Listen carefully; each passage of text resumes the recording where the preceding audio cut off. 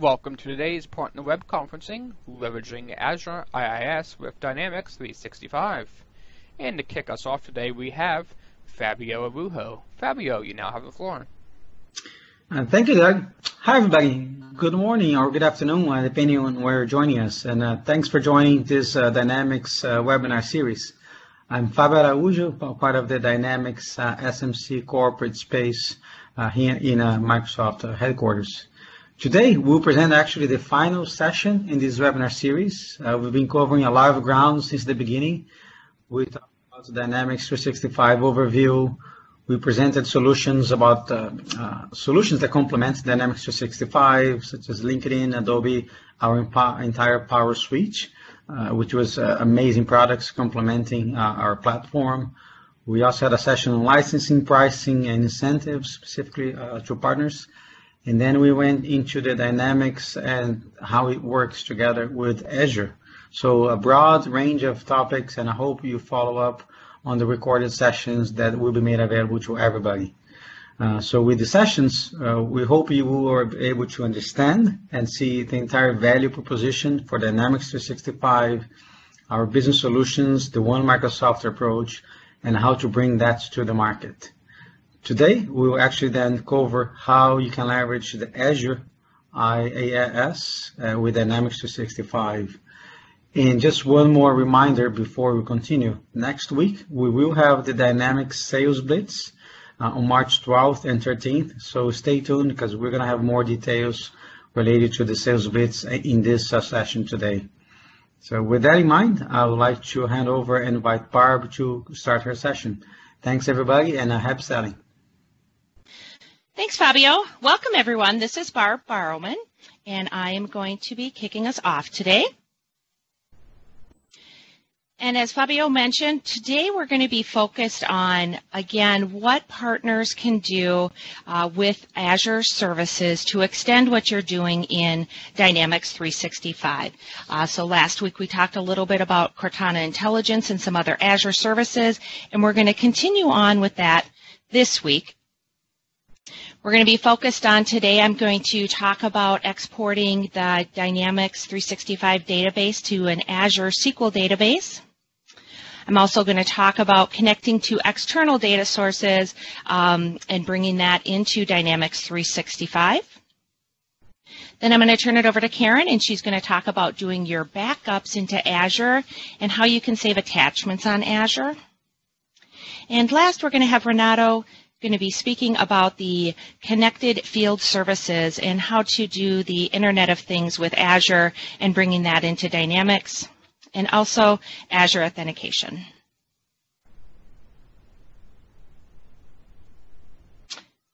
All right, so first I'm going to talk about exporting the Dynamics 365 database into a SQL server that's in Azure. Um, so many times customers or partners need access to the data in Dynamics, but as you know, we don't allow access to the SQL database. So Data Export Service is an add-on solution that's available in AppSource, and this is for uh, only for the Dynamics 365 Customer Engagement Online currently. And it's going to add the ability to replicate uh, the sales, service, and marketing data to a SQL database in a customer-owned Azure subscription. Now, using this service will help to simplify the, the technical and administrative complexity of deploying and managing a data export solution, and you'll be up and running in under an hour. Now, the data in the SQL database will be updated when it syncs with Dynamics. The first time it'll do a full sync, and then um, it'll do uh, incremental updates, and so that will make it practically near real time, which I'm going to show in my demo. And since it's syncing in near real time, this is one of the reasons that partners and customers would maybe want to access the data from this SQL database. Uh, you could have your Power BI reports pull data from here to get a more real-time update. You can also aggregate data across multiple Dynamics environments. Um, you can limit the number of entities that you're exporting, so it's only going to be the data that you're interested in. And you could use the direct query functionality against this data if you'd like to use uh, that from a SQL environment. Um, since the query is happening on Azure, it's not anything that you would be impacting for your Dynamics tenant. Now, um, as I mentioned, it is a solution, so I'm going to walk quickly through what that uh, installation would look like. So first off, you need to find it on AppSource. So you can see here I've a, done a quick search. And once you find it, you're going to click on the Get It Now button, which is going to kick off a wizard. Um, it's going to ask you for some information about who you are. You'll want to make sure that you're logged into the Dynamics tenant that you're going to be deploying out to because it's going to pull in your uh, information to um, ease uh, as you are um, moving forward with the installation.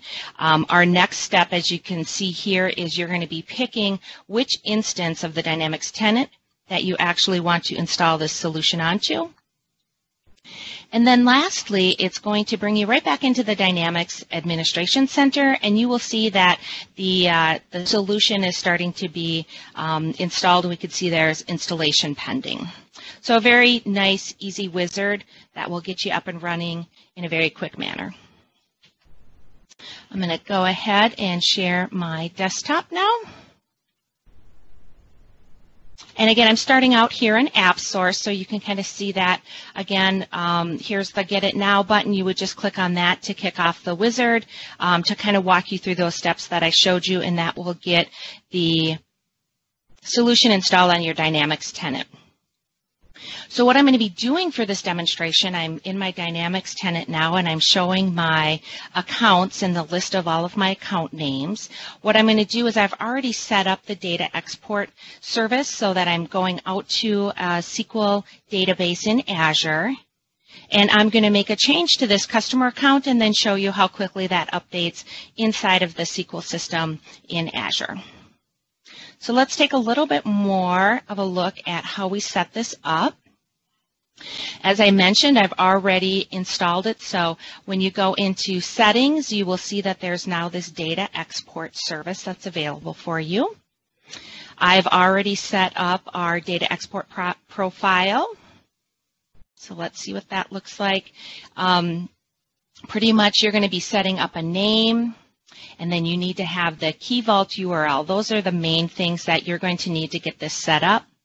We do have a PowerShell script that you can fill in the information that you get from the SQL database that you're setting up in Azure, like you'll need the resource group name um, and information from your Dynamics tenant. You can fill this into this, uh, this PowerShell script and run that, and that will get you your Key Vault URL that you're going to need to put here.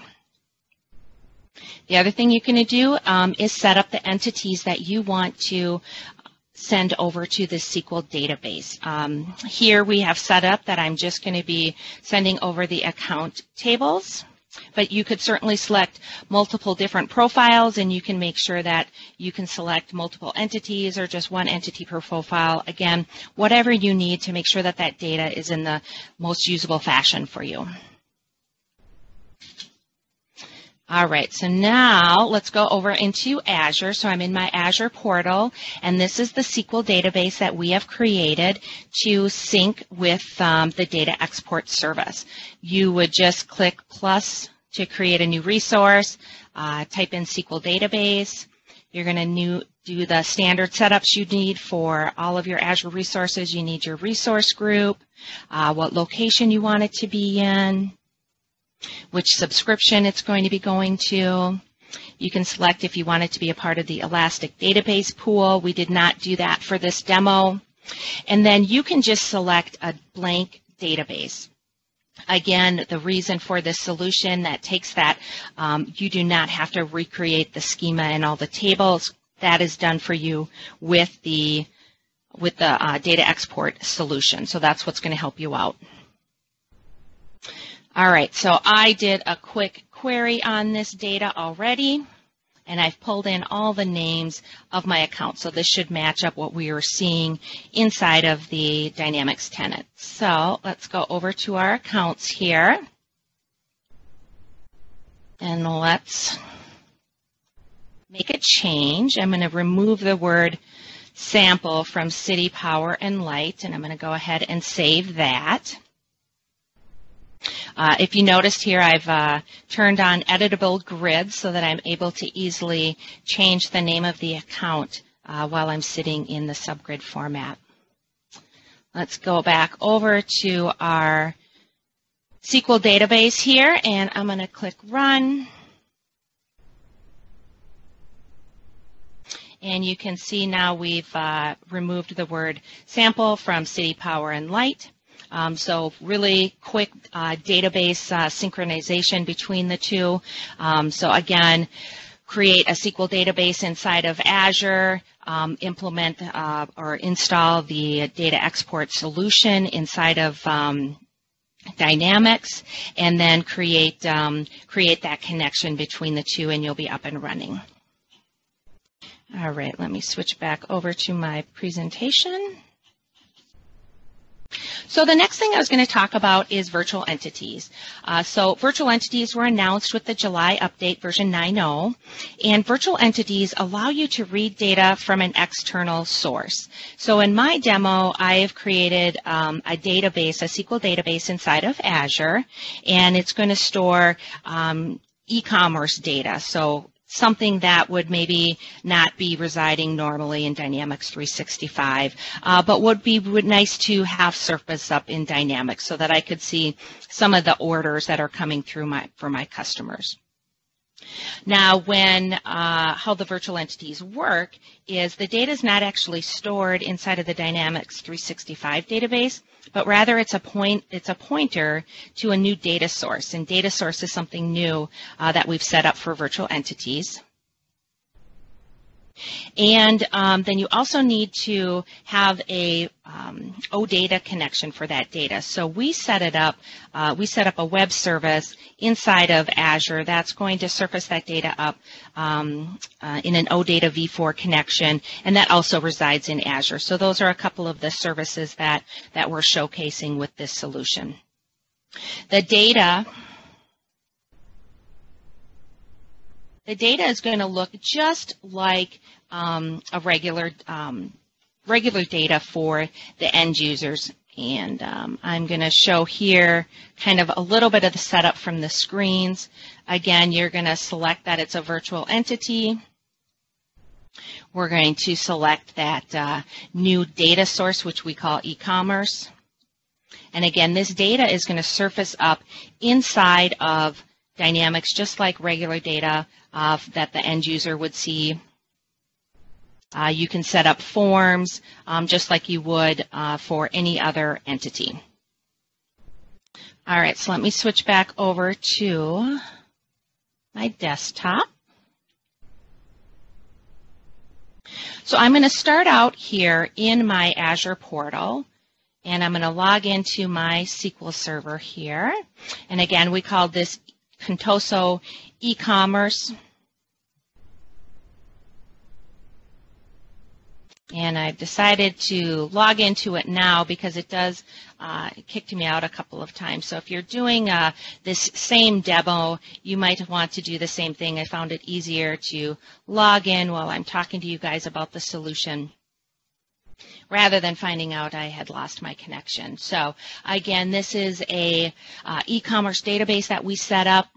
We have the name of all of the orders. We have some information about the orders, and we have um, the status of the orders. So this would be information that we're going to try and surface up inside of Dynamics. So let's go over to Dynamics, and we can see here, this is going to be my my e-commerce orders. So if I click on here, uh, this is the new entity that I created called e-commerce orders. Again, this data is going to look pretty standard, um, just like any other data that we'd have surfaced up. We can click on it and we can go into uh, the information just like we would with every other order. We can uh, filter the order and we can sort it. So it reacts just like regular data that we would see um, inside of that. But again, really it's just a pointer at this point when I request this information. It's going outside of Dynamics to uh, the Azure SQL database and get, grabbing the information from there. So let's show how that works. All right, so let's change order 42808. Let's make that $3,000. And I'm going to go ahead and save that. And let's go back into my dynamic system and refresh that. And our first order, 42808, has changed over to $3,000. So again, a very quick update because it is pointed to that SQL server. It is just going out and checking that information. So let's walk through again how we set that up. So the first thing we did was we need to um, uh, set up our virtual uh, entity data source. So I am in settings and in administration, and we have our um, a new entity down here, or a new setting called virtual entity data sources. We already have this set up for our data already, so you can see we have this e-commerce data source that we have set up. And if we clicked on new here, we just need to um, do the name and the URL. And again, the URL is pointing to that web app service that I have set up in Azure that again is surfacing up that data in SQL in an OData v4 format because that's how Dynamics needs to receive it.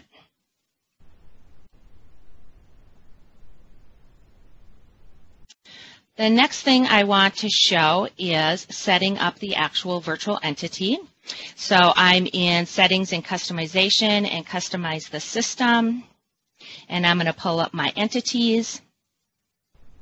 And we now can see that I have my e-commerce order entity. This is the uh, custom entity that we had set up for this. And notice here I have selected, I have checkmarked uh, the checkmark the box for the virtual entity. Once you check that, you will need to fill out the data source. And again, uh, we have e-commerce as the data source. That is that new uh, data source that I just showed you how we set up. All right, so let's uh, recap on that. So there's four steps to setting up the virtual entities. Step one, you need to understand where that data resides that you want to query inside of Dynamics. For us, it was the SQL database inside of uh, uh, in out in uh, Azure. Step two, you need to expose that data as OData v4, and we use the web app uh, that was again residing in Azure. And step three, you need to create that data source in Dynamics, which we did, which was our e-commerce data source. And then we have that URL that's pointing to our web app. And then step four, you need to create that new identity, that new entity in Dynamics. And again, select that virtual entity checkbox and select the data source that you just created. All right, with that, I'm going to turn it over to Karen. Okay, awesome. Thank you so much, Barb. I'm just going to grab control here and share out my desktop. So please just let me know uh, when you can see that.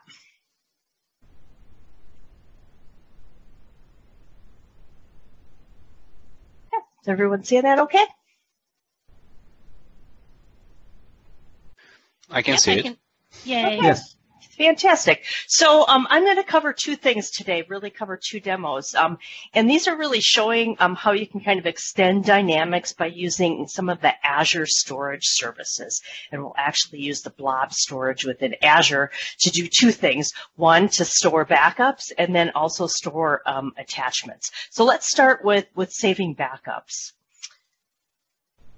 just a couple things here. So um, again, when, um, we can save save our backups to Azure using the Azure Blob Storage. And in this demo, um, to actually do this, um, this functionality isn't available in the Dynamics admin UI at this time, but it's something we expect in the future. But I'll show you how um, you can actually automate this backup by using PowerShell. And because we don't have um, the, the backup in the UI, you could either use um, something like PowerShell or you could take advantage of the Dynamics Management API and use other tools that could make web services requests to that API to actually make this, um, save this backup to um, to Azure. So there's a little bit of extra work, but again, um, PowerShell is a great way to do that. Um, within PowerShell, there's a module that allows, allows you to access dynamic admin capabilities, and it includes the backup capability, which I'll show you, and then also um, that Power PowerShell module can do other things, other administrative tasks within uh, Dynamics as well you can see here um, there's some benefits to, to storing backups. And the biggest one is the top one you see there, optimizing your dynamic storage. You have a certain set amount of, of storage in your Dynamics database. If you're saving and making a bunch of backups, you're, you're generally using that storage. So if you could offload that to Azure, that could save and allow you to grow your Dynamics environment. Um, some other things, um, you know, it'll allow you to generate some Azure consumption. You can gain maybe some better control control over your backup data and then e even maybe do some easier restoration of those um, backups from Azure into to other SQL databases. So let's go ahead and show you um, how we can do that. So the first thing we have here is um, when we're doing backups, we're in the Dynamics Admin Console here. We generally go to the Backup and Restore tab. And you can see we have three different backups here. You can see that these are stored on Dynamics 365, so they're using our database. If we want to um, execute a new backup, I could cl click on New Backup here. But notice there's no option, right, to save that to um, to Azure. So when if I executed on this backup, it would just save it within um, Dynamics 365. So um, let's go ahead and show you how we can um, execute some commands within a PowerShell script to actually uh, create this backup uh, within Azure. So I'm just going to switch here and I've got a PowerShell command up here and I actually have my script right next to it just in OneNote and I'm going to do some cut, cutting and pasting. One thing I want to mention is when you open PowerShell, you notice right at the top, this is opened um, as administrator. So um, when you open PowerShell, if you right click on it, you could say uh, run as administrator. It's important to do that so all these commands run appropriately for you. So I'm just going to grab this first option here. And what I'm doing here with um, kind of these dollar sign is I'm creating variables to hold some information. So the get credential is actually, you can see here, it's prompting me for credentials. It's going to hold the credentials um, that I need in order to log into my Dynamics tenant. So I'm going to go ahead and type this in. And we're using uh, Renato's tenant here for this demo. And hopefully I can get the password right on the first try. Okay. Okay. So that's the first step. The second step right here is that I need to tell um, PowerShell um, I need to give it the URL to map to the, the Dynamics Management API. So that's the command that I'm sending here. The admin um, .services .crm Dynamics, that's the management API uh, that you can access to, to execute things. The next thing I'm going to do is, is import the module. So I talked about this Microsoft.xm XRM.online management API, that's actually the PowerShell module that allows you to execute um, administrative commands against your Dynamics tenant. So that's the module that we need to load.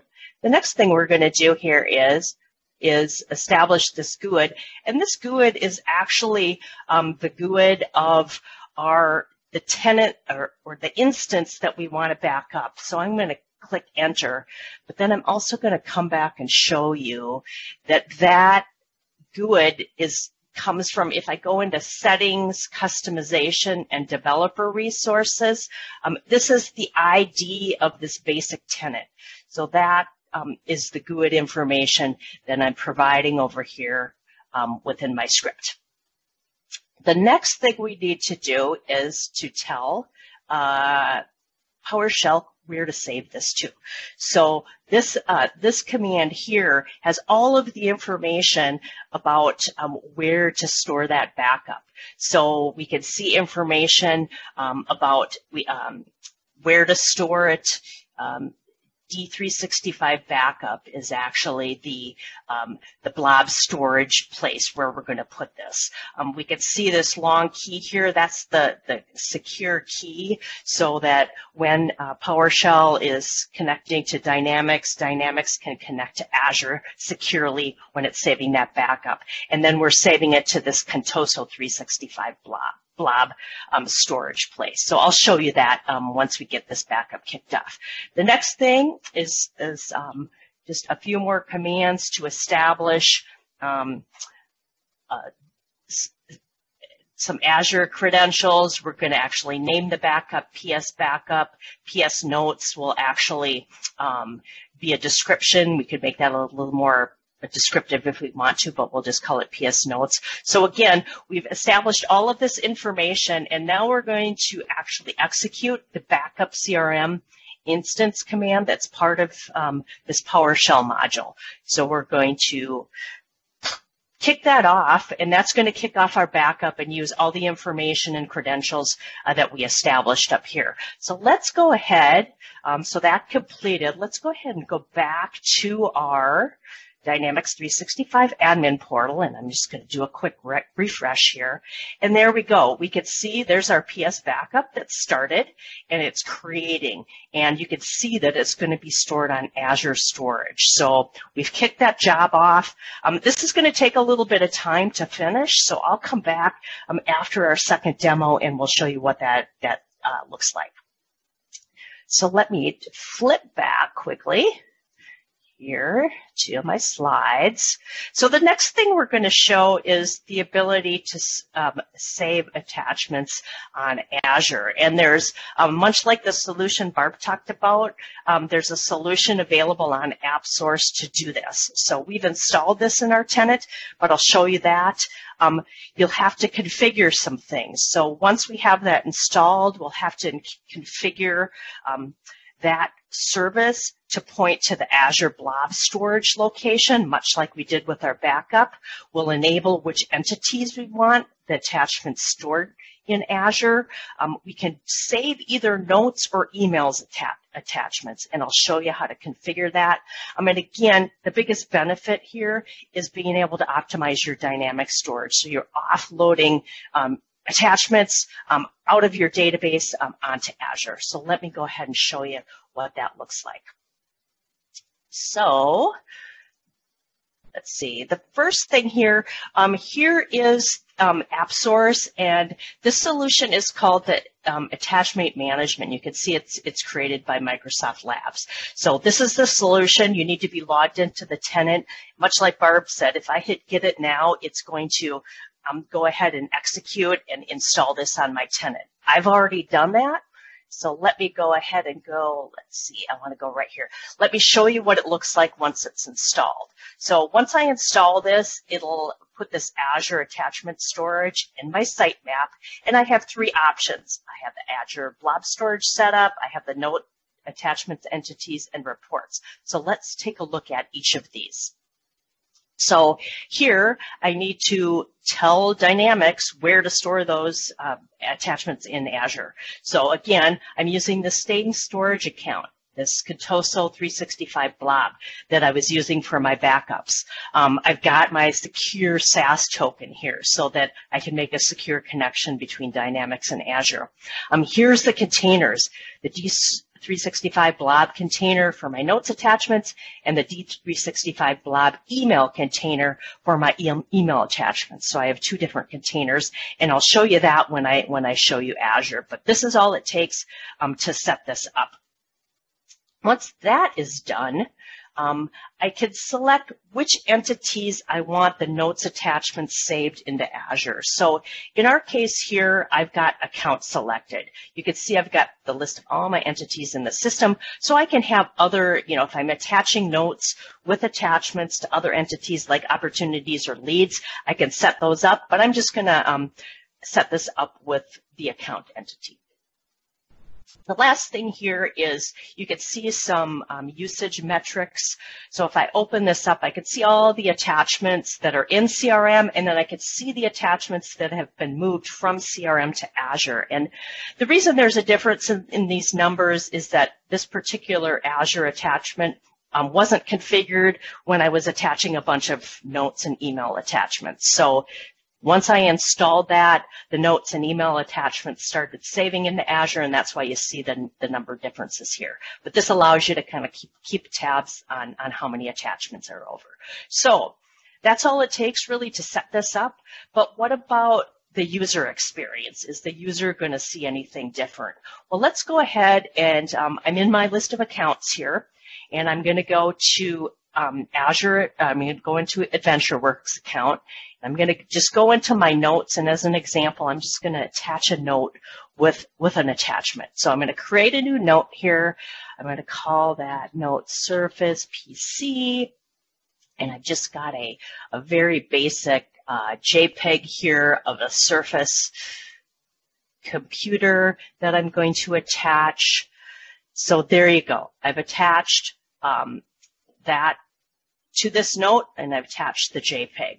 So that's all that happens. The, the user will know no difference. They, they won't know that this Surface JPEG is actually getting saved to Azure, not in Dynamics. The user sees no difference. So what do we see on that, on the Azure side? So here I am in my Azure portal and I'm looking at my Contoso 365 blob. So this is my blob storage and you can see I have my D365 backup that where my backup's going to go. I have my and I have my two different blob containers for my notes attachments and email attachments. If I open this up, I can see that I have some different attachments here and I can see the one right here, the Surface JPEG that was just saved. So that quickly, when I uh, attach that JPEG to a note, it saved it into Azure. Notice that um, right here, um, it, it it's appending the GUID of the account, and then it'll append that to the name of the file. So this information here, because I have selected, set up um, the notes attachments for the account entity, it'll use that GUID from AdventureWorks and append that to the beginning of this. I can, if I click on this file, let me just show you that it is indeed, um, I'll just open it up here. It's just a very simple JPEG that I can access right there from within the Azure portal.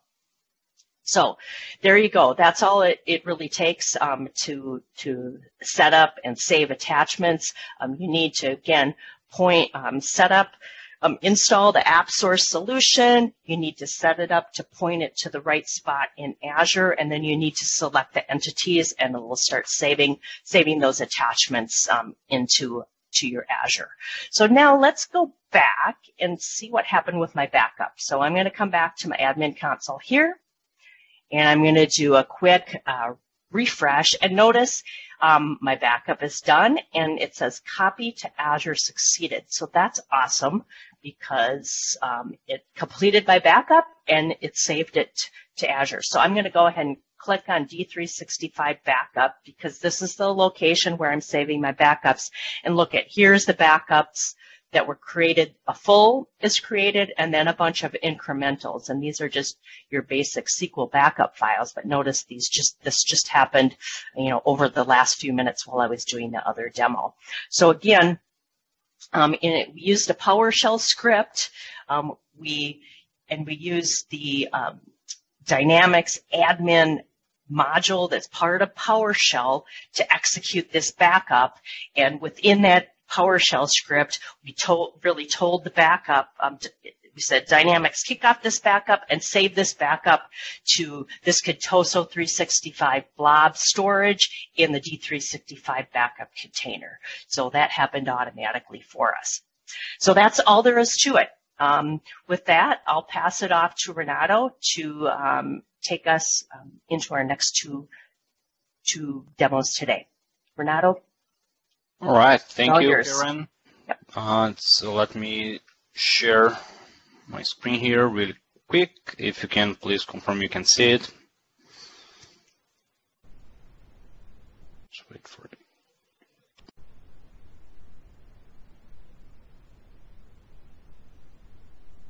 I can see it. Looks great. Awesome. All right. So for, uh, for our first demo, my first demo here, I'm going to talk about uh, Azure IoT and connected field service scenarios. If you uh, remember uh, what we uh, presented on our first session uh, around field services, Dynamics 365 for field services is one of the Dynamics 365 apps that allows you to manage your field team and assign work orders to, to your uh, field engineers so they can go uh, to their uh, customer site and, and provide some sort of services. with the, the connected field service scenario, you can go one step further and be proactive.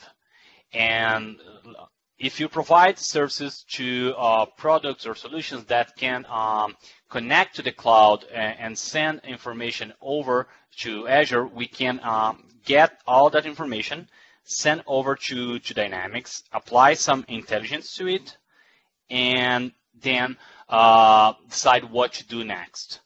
Uh, I, am just going to pause here for a second. Can you guys confirm that you can still see my screen? I don't see anything right now. I'm just seeing a blank. Yeah, I'm not screen. seeing it either. Yep. Okay, so just let me pause here for a second and share that. All right, let's give it one more try. It's looking better from my side here now. And we have success. All right. So I'll just wait one second to see it on Event Builder to make sure everybody's getting that. Okay, so let's move on. All right, so as uh, I was saying before, the, the whole idea with connected field service is that you can uh, become a more proactive uh, service uh, company by monitoring uh, information that's coming from uh, all kinds of device, let's say thermostats, pipelines, elevators, whatever, they will send this information to the cloud, and once it's on Azure, Azure can understand what's going on, filter that information, decide what to do next, and if it's uh, relevant to take an action, it can route this information to Dynamics. Once on Dynamics, all uh, Dynamics business process flow and capabilities can be leveraged. So you can have uh, automation on top of that to decide uh, to dispatch someone to the field, or you can just uh, present as an alarm and, and, let someone take some action there. So let's uh, go ahead and show you uh, how it looks like. Once you install the solution, I'll show you how to do that, where to get it. Uh, but when you install from AppSource the Connected Field Service solution, it installs all components you need inside Dynamics, also inside Azure. And it comes with a, a simulator uh, page which uh, simulates uh, a thermostat in which you can uh, change and play with the humidity or temperature.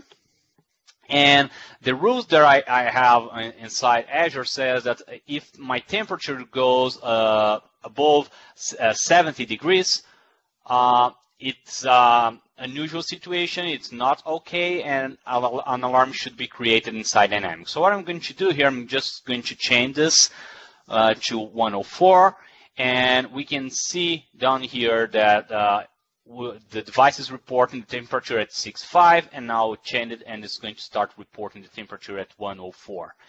So uh, this information uh, is being sent to Azure.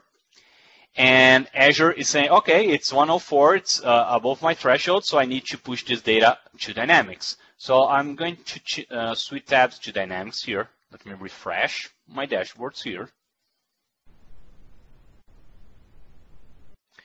And what we're going to, to see is that our, oops, sorry, I double click it here. We have here an alarm that the temperature is uh, reading of uh, 104 and that's uh, above the, the threshold of 70. So uh, what I'm going to do, I'm just open this alarm so we can see that it initiated a business process flow. I have the data that uh, is being provided by the, the, device. So I have the temperature, the reading, the, the ID, and because I, have the device ID, it's registered on Dynamics and Azure, uh, I can see uh, where this thermostat is, uh, who's the customer, and I also can see on this real-time Power BI report that the uh, temperature elevated from uh, the, the initial 65 to 104, and my threshold is 70. So I can see what's going on here in real time. I can have like a, a, a SLA to resolve it. And so what I'm going to do next is the, the support agent here, say, okay, so I'll just create a work order and send someone to check on that.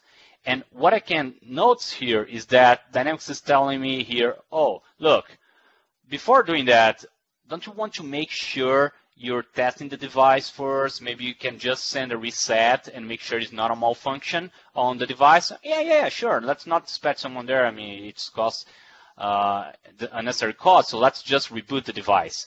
And I'll just say, okay, let's uh, reboot the device. The, the SLA was paused. And I'll switch tabs back to the thermostat screen. And what's going to happen is that uh, Dynamics is sending this reboot command to Azure. Azure is forwarding this uh, rebooting uh, command to the device and asking the device to, to reboot itself. So what happened here is that device was resetted to 65 degrees. But let's say it's not uh, just a glitch or a, a small malfunction. It's really uh, the, the, reading is really incorrect, and the device goes back to uh, a temperature that's above the, the threshold. What's going to happen is the same thing. It's going to be report to Azure and then back to Dynamics. So if we go uh, back to Dynamics, let's just move here to my IoT alerts. Uh, we're going to get the, the, alert here, but I want to highlight here that uh, we have a background uh, process that uh, understand that you're getting multiple uh, reports for the same device for the same uh, at the same time for the same situation and we can group them together so you uh, you can see what happened over time for that specific device. So let me refresh here and we have the new uh, information and now that I know that it, it is, uh, I can see the curve here, what's going on. I know that it is indeed a pro, uh, problem. What I'm going to do is say, okay, I want to create a work order and send someone to the to check on that. So I'll, I'll just save. And what's going to happen is that uh, Dynamics will automatically uh, create this work order for us. So let me just go there and check on that work order. And there you go. You have the work order 121. If uh, I pop it open, uh, I'll see that uh, it's a work order for an emergency situation that requires an inspection for this specific customer uh, regarding a thermostat that is broken. It's ready for dispatch. Uh, it should take two hours to fix it. Uh, I can see the, that the tasks that should be performed once the, the field engineer is there how long you, we expect this to take. It, the products that must be uh, be taken to the to the site so the, the technician can perform the activity there. Also the address and all required information to perform this job. Uh, because it, this is field service, I could uh, just schedule the work order using my assistant or the dashboard. There are multiple ways of doing that. But for today's demonstration, what I did uh, additionally is I created a Power on a Power Apps app that connects to Dynamics.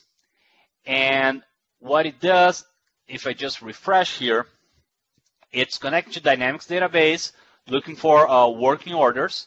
And remember, because this is a Power App, I, I could have it running on my mobile device, my cell phone, my tablet.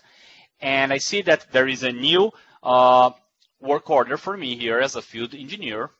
I can open it and say, okay, so I have uh, this reading uh, at this address, this city, it's an emergency. Yeah, I have all the information that I need here. So I, will just accept that. And once we accept, uh, and I, let me refresh here, we'll be able to see that this it, the instruction will, uh, was updated to uh, dispatch it. I can, I'll be able to see the same information inside Dynamics.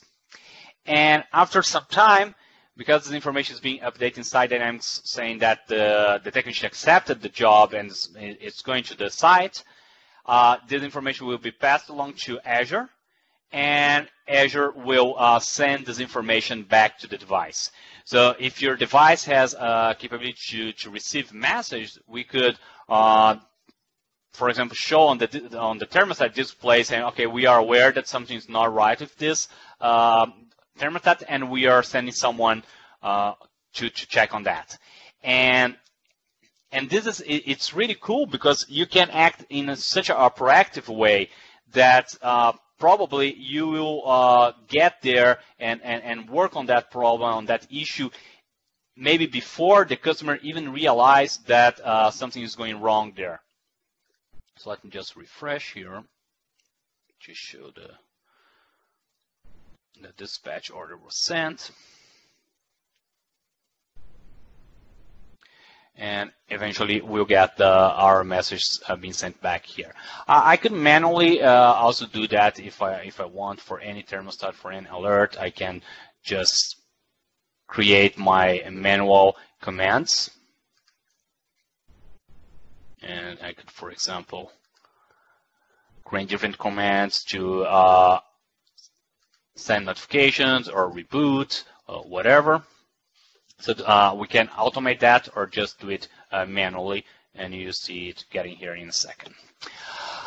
All right, so how do we get this solution installed? Essentially, all you have to do is go to AppSource. Once you're there, search for Connected Field Service add-on. There is no uh, cost to install it. Uh, once you you go through the steps uh, from Get It Now, it will create that this, it, it, will install the solution inside Dynamics, but you're also going to need uh, Azure subscription so it can uh, add all the components there. What components are going to be added to Azure? Uh, so let me go here to my Azure. All these components are going to be installed for you. And what they uh, essentially what they are is we have uh, the simulator page, that thermostat simulator page that I showed uh, with a service plan to that. And then the, the most important piece here is the IoT hub, where all your IoT device will be registered. And once this IoT hub re receives a message, this message is going to be processed by a stream analytic job, and you have two stream analytic jobs. One that will uh, get this message and, and send this to uh, to the database that will connect to Power BI, so you can have that uh, real-time Power BI dashboard inside the form that I showed you. And the other stream analytics job will uh, send this uh, information to a queue, and this queue will be processed by a logic app. So let me very quick show this logic app here. Let it load.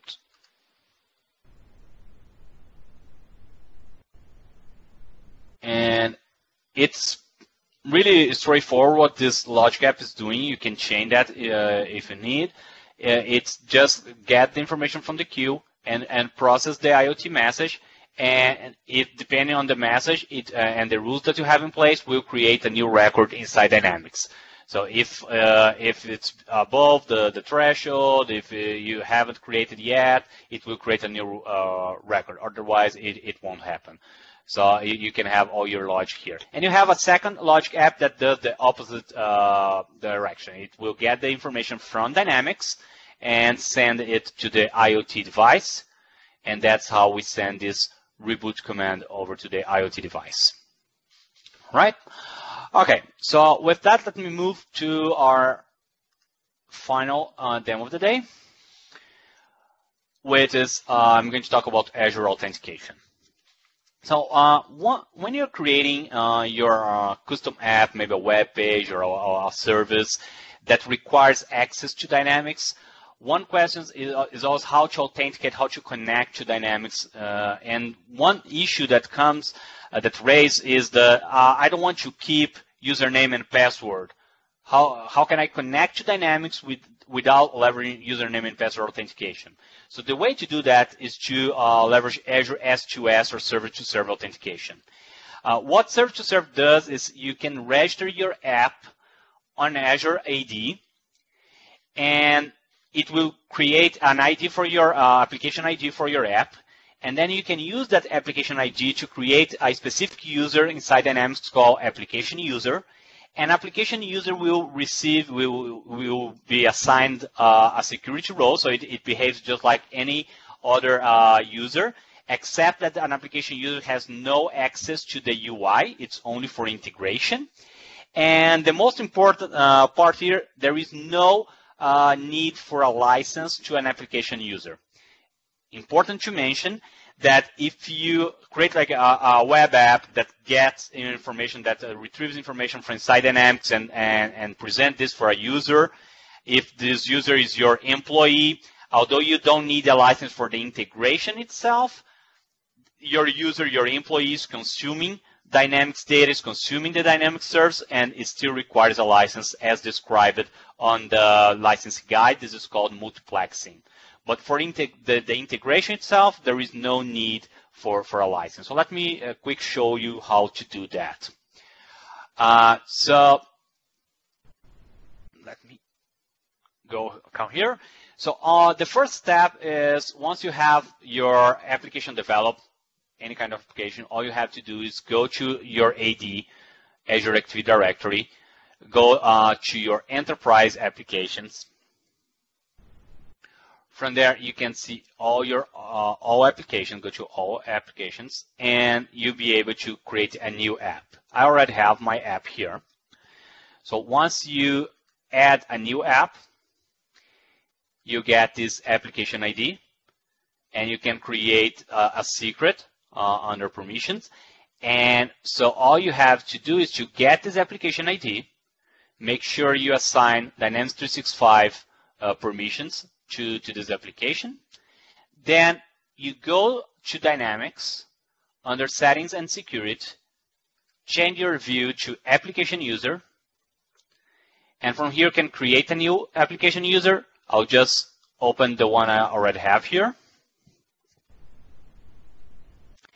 And just add the application ID to this user and save and you get back these other two IDs from Azure saying that your application uh, was mapped to this user. Once you have it, just go on manage roles and, and say what this user can do on the solution. And how you use that, uh, so you just once you create your application, and in this case, I'm, I'm going to use a very, very simple application. I I'm, don't expect you to be developers. All I want to show you is that what I'm doing here is I'm connecting to Office 365 uh, login services and requiring uh, and validating my credentials. But my credentials here are the app ID. I don't have a need for username and password. I don't need to store and manage that. And once I have my credentials, okay, I'm connecting to my uh, CRM and asking for all my opportunities. So this, so let me run this app and bring this up here. Oops. And it will uh, connect through Azure and retrieve all my opportunities from there. Uh, the only thing that's necessary here is that the first time you, you run your app, the tenant admin, your customer tenant admin, needs to give permission to this app to run. So it will pop up uh, a screen saying, okay, do you uh, authorize this app to consume this specific service? And you say yes, and then you'll be able to use that from, from that moment on. So this is a very uh, simple uh, app. I'm not interested in the app itself. All I want to show you is that it, it made a, a, REST API call with all and brought all the opportunity details, all the important information from that uh, CRM tenant, and did that without the requirements of keeping a username and password. And that's exactly what we need for this integration. All right. So with that, I finished my last demo. Uh, we are going, if not yet, we're going to share all this research with you on, on the IM screen, and, the, uh, and this deck will be available for you as well later on on DLP. You have links to access uh, uh, step-by-step information on how to perform the same demos that we did here, how to create the environment and the configurations for all these services and apps. And with that, we conclude our uh, webinar series. I hope you have enjoyed, and thank you for being with us through, uh, throughout this uh, entire series.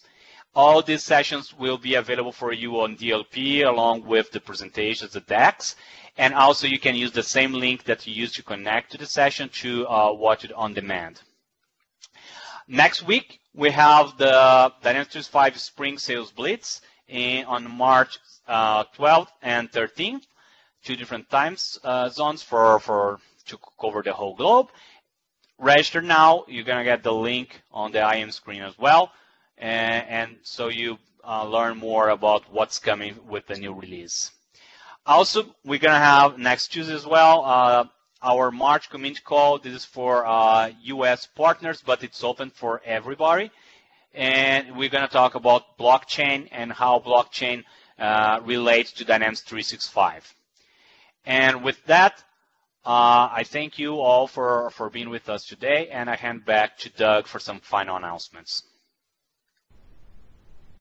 Thank you very much, and we do hope that you found today's information helpful. If you enjoyed the web conference or have feedback on how we can provide you with a better event, please let us know by completing our survey. It can be found under the Messages tab and is on a scale of 5 to 1, with 5 being the highest score possible.